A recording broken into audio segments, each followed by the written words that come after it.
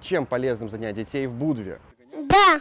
Когда я жил один без Алены, без Доминика и без Стефании, конечно же, я не знал, Да. э, ну и особо не интересовался, так просматривал и не изучал. Ну, все приехали, и все, время пришло изучать. Хорошо. Мы уже обратили внимание на две интересные спортивно-развлекательные группы э, для малышей, как наш Доминик, и для Стефании, это уже Купуэра. Сегодня мы с вами посмотрим, как проходят э, для групп 4-7 годиков спортивно-развлекательные занятия и где.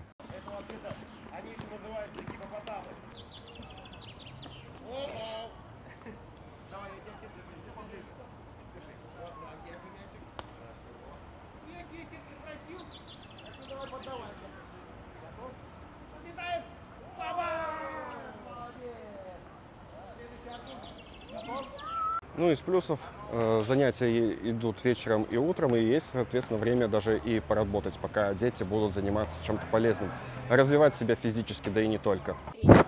Я слышал тренер. Мне хорошее поведение было в колоте. Ну что, утреннее время за Домиником. Ну и, как я говорил, Стефанька у нас где, мама?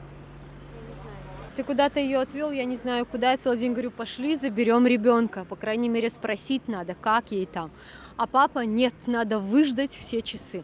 На час раньше еле его уговорила. Пошли, говорю, заберем, покажем, что это, что это, где она, оставили, кровинушку нашу. В общем, как вы поняли, очень интересное место. Алена очень сильно интересуется, где же, где же это. Мы выбрали школу, которая не занимается нагрузкой интеллектуальной, потому что у нас Стефания очень хорошо и так в течение года занимается. И по всем предметам. Еще нагружать ее летом ну, наука разная, решили, что не очень. Поэтому выбрали условно продленку, там что-то типа такого называется, белый кролик здесь в Будве. Не знаю, Будва маленькая, тут все рядом. Вот, в общем, находится рядом с центром в Будве обещают э, 6 часов. Ну, от 4 до 6 часов можно там э, ребенку тусоваться, полдник, обед и разные активности, там игры, э, игры в мафию, рисование, гуляние, там, ну, вот такие штуки. Меня смущает, что там возраст э, с 6 до 11 лет, а Стефания уже 10, и если там придут все шестилетки, то как бы, ну, Стефания уже сразу постарше. Хотя это всего лишь мои предположения. Сейчас мы все сами спросим у Стефании, как прошел ей день, как прошел ее день, что ей понравилось, что ей не понравилось. Все узнаем. И как покормили, тоже узнаем. Мы не только все узнаем, но еще и вам расскажем, чтобы вы тоже планировали. Потому что цена на самом деле очень такая демократичная по сравнению со всеми активностями, что, что здесь есть. Всего лишь 150 евро в месяц, э, каждый день по 6 часов, ну, в будние дни, естественно. И 6 евро в день на питание. Там 5 евро это обед, второе, и 1 евро полдник. Вот. Интересно, правда? Он привести меня и без тебя. Да, да, мама говорит, что Доминик уже запомнил дорогу, потому что мы вместе отводили. Мог бы привести маму даже и без меня. Он сам нашел. Как бежал на Так, идемте, идемте. Так, белый кролик. Вот их эмблема, символ в модных цветах 2023 года.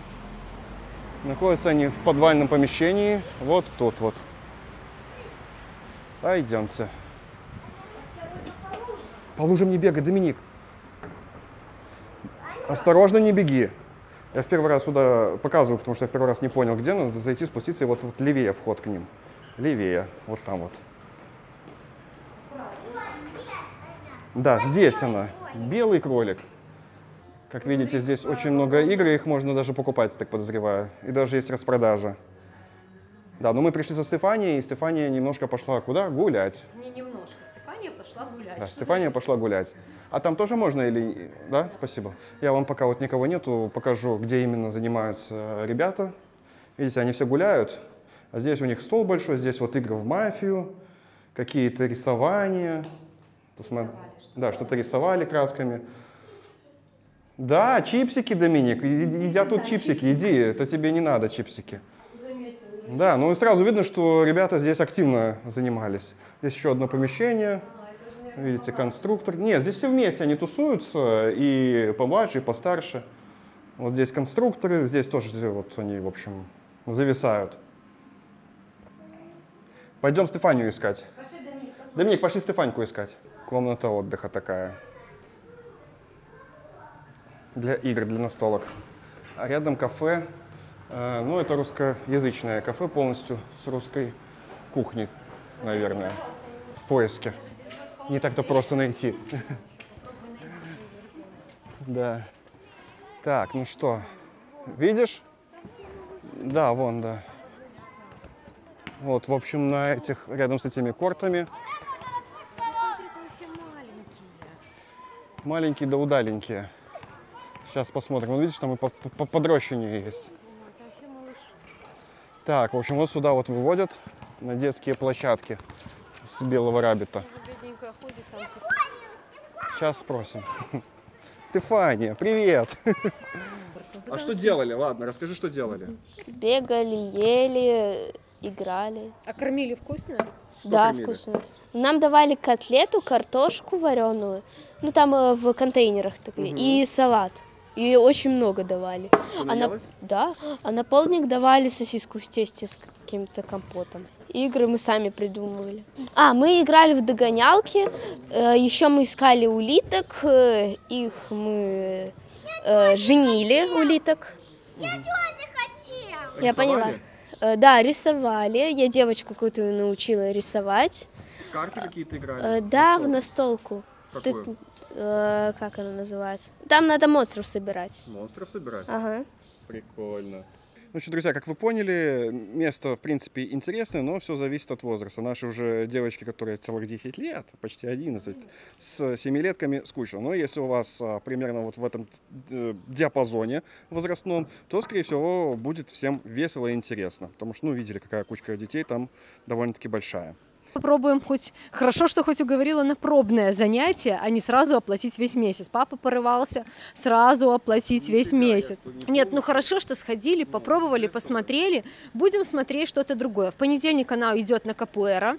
Я тоже с ней схожу, посмотрю, что там. Я уже захотела уроки тенниса. Мне что-то теннис, большой теннис меня потянула. Как Шарапова там, да. Посмотреть, как это будет. Ну, в общем, посмотрим что-нибудь другое. Но Доминику тигры очень нравится. Он каждое, когда знает, что будет занятие, вечером ложится спать и говорит, ну ты же завтра меня разбудишь, я же иду на занятие. А потом приходит домой и рефлексия, рассказывает, как он себя вел, какое у него было поведение. Но я, глядя, как мы с ним вот сейчас идем по прогулке, я сомневаюсь, что он там кого-то слушал. Ну, вот смотри, что он вытворяет. Зачем тебе эта палка? Что это? Палка. Какая-то палка. Так, и мы все-таки дождемся, что он будет полностью мокрый. Это сто процентов. Он сейчас упадет и будет весь мокрый. Это даже к бабке не ходи. Фрутика Компани.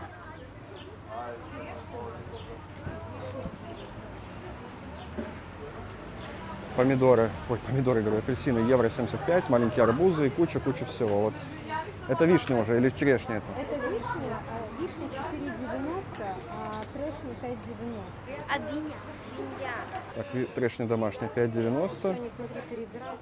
вишня 4,90. Так и ты посмотри. Перебирают. Маленькие, маленькие микродынки по 2 евро. Но не смотри, какие они, не очень вкусные, Стефания, будут, видишь? А, не оранжевая. Да, видишь, они оранжевые внутри. Арбузы, любеницы.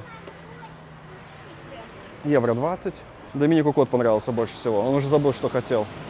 29 евро. Паттайя, кассия 3,50. 3,30 персики. Нектарины тоже 3,30. Груши 3,90. 4,80. 4,45. То есть все в пределах 4 евро с половиной.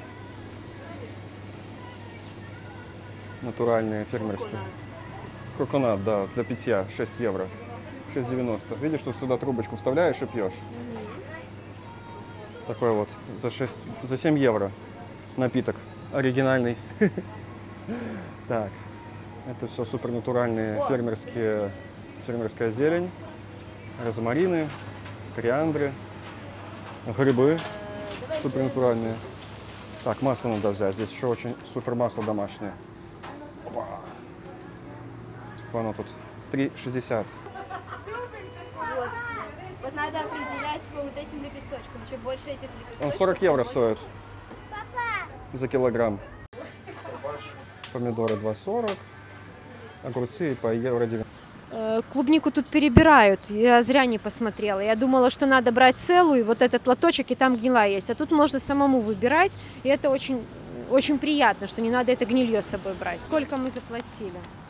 31,30. н- э, надо внести ясность, почему 31,30. Потому что Стефания себе купила экзотический фрукт, маракуя 1, 6,95 евро. И что еще?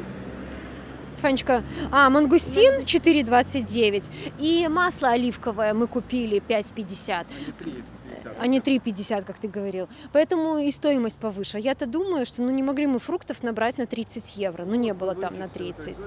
Да, поэтому где-то ну, меньше, чем 20. Где-то и минус э, олива будет 15 евро на фрукты. Да, мы купили вишню, черешню, абрикосы, тимьян, купила абрикосы, буду запекать очень интересным способом. Я, как всегда, рекламирую свой инстаграм, потому что рецепт там тоже выйдет.